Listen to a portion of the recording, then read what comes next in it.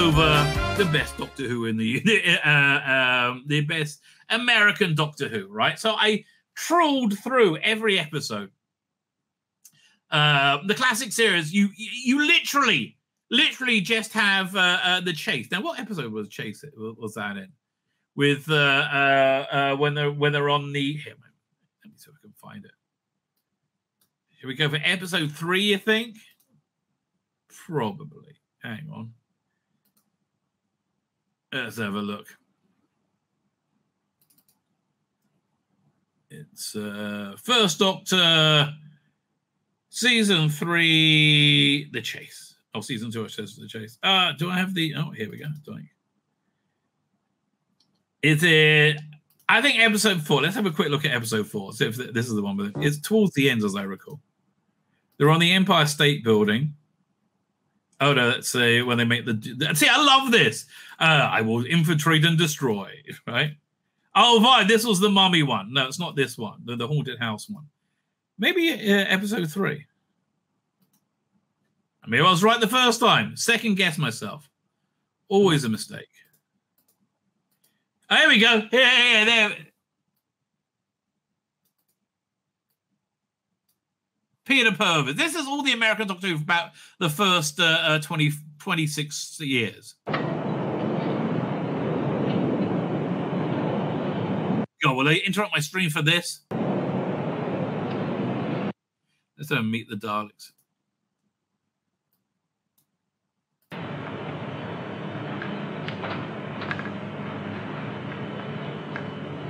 Morning. Not from there. No, no, man. No, I, I'm from Alabama. No, mate, you're from uh, North London. Yeah, was it? It's funny when the. Man, this goes on for a while. Sure, but don't beat off.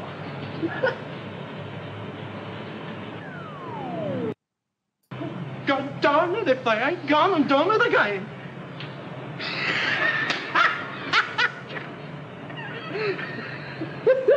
Howdy, mister.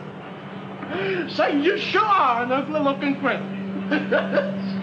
yeah, so that, but again, that was basically it. we have you know the uh, the the rocket pilot in Tomb of the Cybermen was a I think it was Canadian actually, not American, right? Two doctors nearly set in New Orleans, but they couldn't work that out with the uh, uh, with the the tourist uh, industry there. And of course, we have uh, uh we have uh, uh, what's his name? Uh, uh, Martin Luther King at the very beginning of Remembrance of the Daleks. But that's really it, right? That's really it until we get to Enemy Within, right? So Enemy Within, uh, which will be the uh, uh, you know the um, Paul McGann uh, only TV episode, right? Enemy Within. Uh, I think that's a solid, good story, right? I really do. I I, I thoroughly enjoyed that. It was a bit too uh, of a pastiche of Doctor Who. But I mean, I love the chase sequences. I think that re- weirdly really worked, right? I loved uh, uh, the Master, uh, uh, Eric Roberts' Master. That really genuinely came together. So that. Um, so that's like our first, you know, real Doctor Who in the USA. So, yeah, what's better? So the next one we had and we're going to work out which is better and worse, and we'll, we'll, we'll, work out a ranking that way. Next one we have is Daleks in Manhattan and the Evolution of Daleks, which Rusty Davies did say was a direct uh, sequel to um, uh, uh, the, the, the, chase because he he thinks the Daleks arrived there and they uh, looked around and they went, oh, oh, we, we the Empire State Building, we can use that again. So there's a lot that really, really worked. There's one scene that I think that really worked when it, when they mix the Art Deco uh, with the Dalek, and boy, did that work well. Let me pull that up because that that that's that's a freaking awesome scene. That'll be a tenth Doctor season three, isn't it? Uh, yeah, Daleks in Manhattan. Yeah, we go. This is about here where they uh, um, is this where the Dalek comes in? Hang on. How tired you are.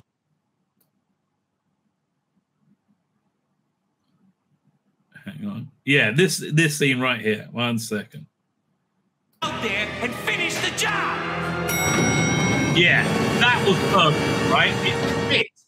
It fits beautifully into. Uh, and there's this other bit here where you have these two Daleks talking in secret, uh, uh, and they're, uh, you know, they uh, uh, they look. I love it that they look around first to make sure no one's listening. And where is this? Got the pig pig man. Or maybe it's in the next episode. I can't remember. Uh, and you get you do get a great uh, uh, a great da- dance number in, in in this story as well. But I would say I'm going to put Dark Manhattan an evolution of the Daleks because I, I, think the villain was kind of weak. Uh, um, well, uh, I'm to put I'm to say put that's number two. That's that goes after Enemy Within, right? So we get a little bit of America in End of Time, but not really. But then the next time we we we we, we head to America is the Impossible Astronaut and on the Moon. Now that is a very very American centric story, right? Uh, uh,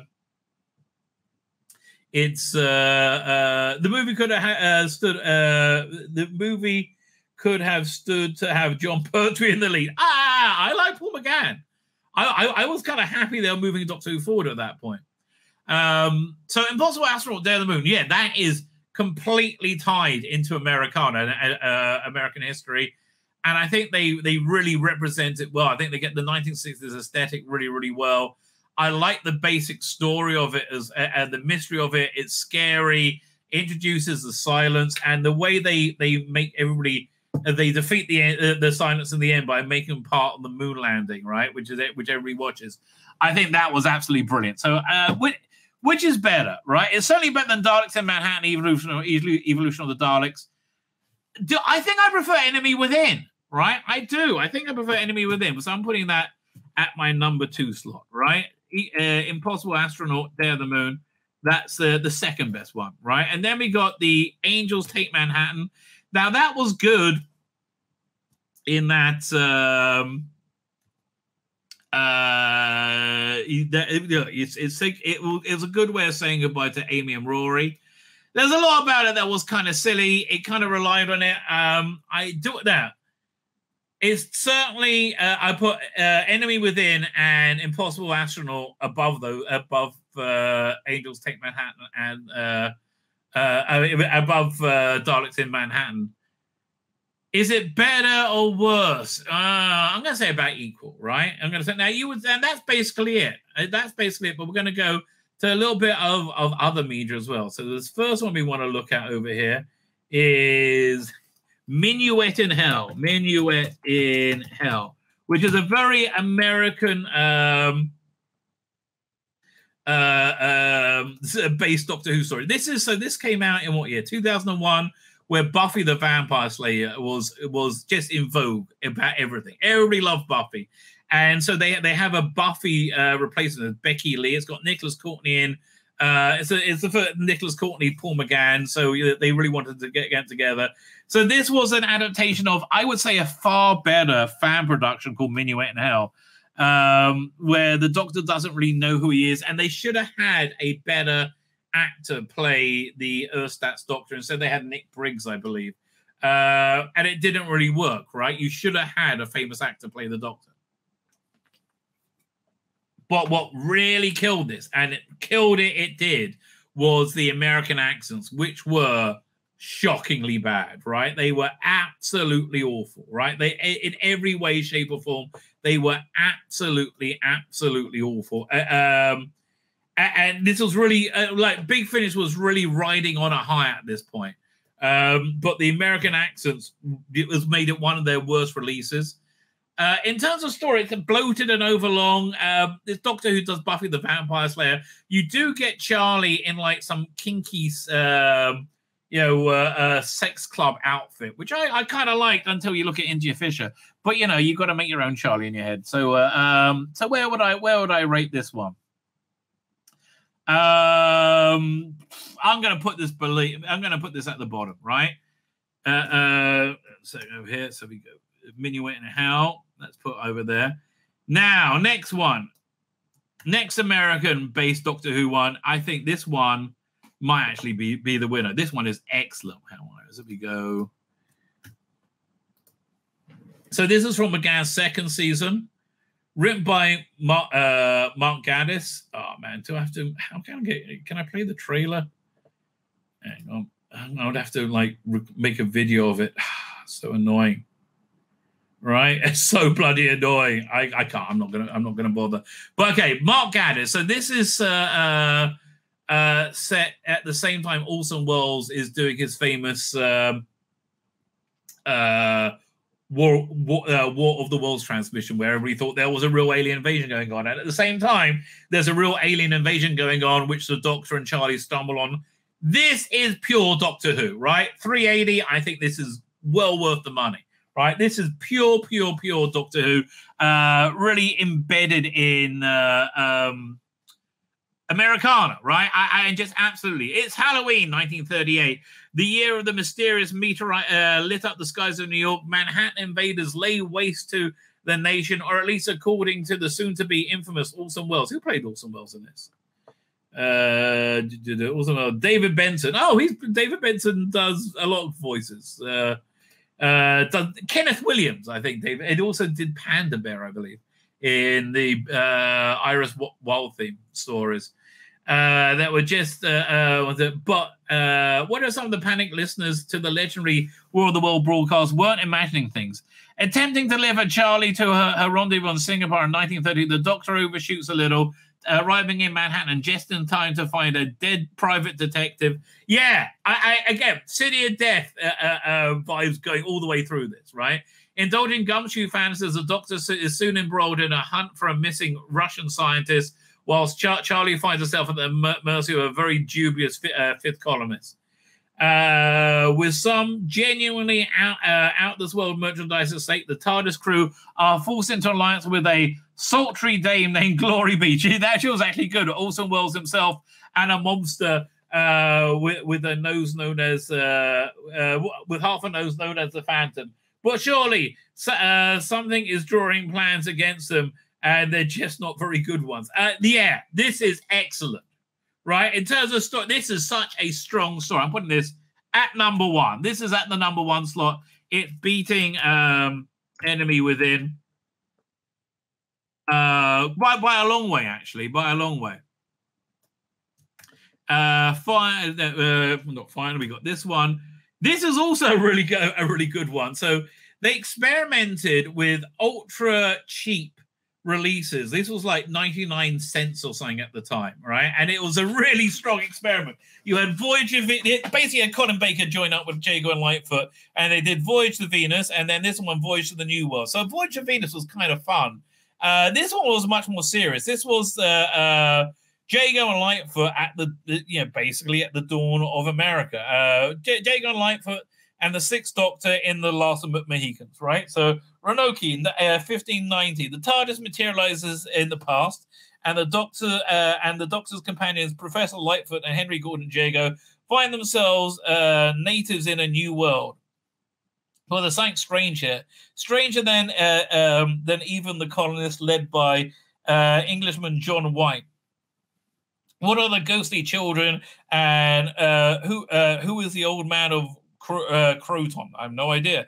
Or Creighton. The travelers are about to discover uh, the secret of the lost colony, uh, and it may cost Jay, uh, may cost uh, Jago's life. Yeah, I just remember this being a solid story, right? It's expensive though, but it's like a one disc release. They got at six eighty, and the excellent Invaders of Mars they have at three eighty. Like, like this makes no sense, right? This makes absolutely no sense. But this, again, solid. This, this is the one, uh, one disc. But yeah, okay. So six thirty four for this, or three eighty. Yeah, uh, for this is a two disc release, right? Yeah.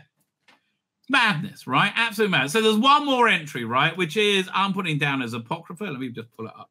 But uh I I think I it's a Totally worth a mention. Yeah, a second. I'm just vomiting in my mouth. Don't worry, everybody. It's, it's perf- perfectly normal at my age. Uh, where are we up to? Uh, do, do, do, graphic novel. Hang on. Opening up. Uh, uh, do I have it here? Widow's Curse, Cold, uh, Cold Day in Hell, World Shapers. No. Yeah, let me, let me Google it then. One second. We'll do uh, Doctor Who, the Good Soldier. So this was written by Andrew Cartmel. Um, where are we up to? So here, one second. There you go. At least, at least I can get get get the cover. Uh, doink. I'll put this over here. Here it comes. Doink. Where am I? Go over here. Stop screen. Share screen. Doink. The Good Soldier. So this is a cracking little story. Um, who does the art on this? I can't remember. Is it? I think I'm pretty sure it's it's Lee Sullivan, right? So yeah, it's the Seventh Doctor, Eighth uh, Mondasian Cybermen, and it basically they're in this uh, um, little diner uh, out the way of anywhere in in the middle of uh, uh, America with a, with a cyber invasion and the military coming in, uh, uh, and it's um, uh, it's excellent, right? I think I really think this is excellent. I, you know what? I'm going to put this at number two, even though it's a comic strip, right? Well, where where when I'm putting Voyage of the New World, where where where we've been. So that I'm putting a, I'm putting that after Enemy Within, right? So doing, hang on. So Good Soldier, yeah. So it's set in the 1950s.